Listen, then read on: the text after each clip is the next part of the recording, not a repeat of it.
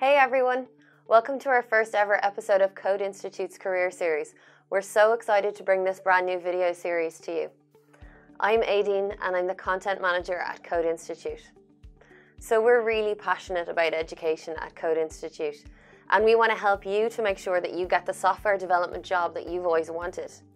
So today we're going to share our five best tips to nail a technical job interview with you.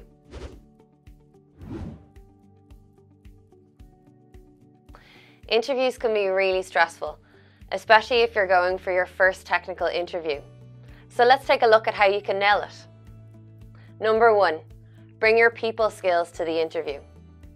It doesn't matter what level of developer role you're going for, employers want to work with somebody who can collaborate and work as part of a team.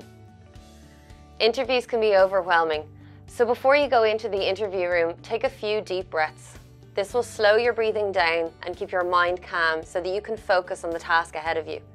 You have a personality, so let that shine. Number two, be honest about your level of IT knowledge. Tech interviews will often involve a practical coding task.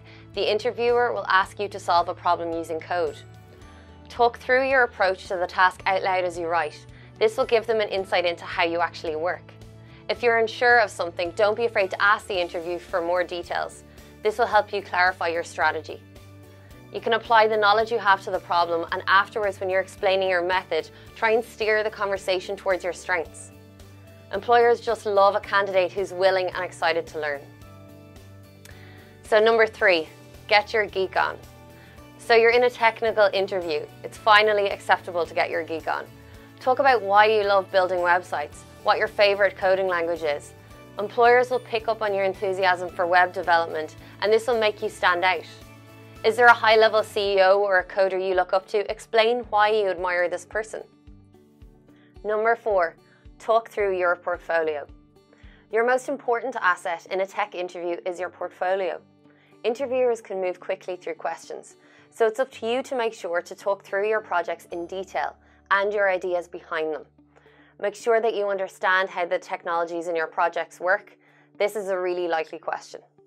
Explain why you use specific technologies and not other appropriate ones.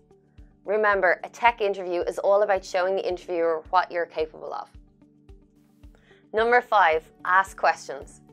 If you're asked a question and you're unsure about it, don't be afraid to ask a question to clarify what the interviewer means. This will give you the time to think, and it will also show them that you're a detail-oriented and assertive developer. Don't forget to ask a few questions at the end of the interview as well. It's a great excuse to show your enthusiasm for the role and for the company.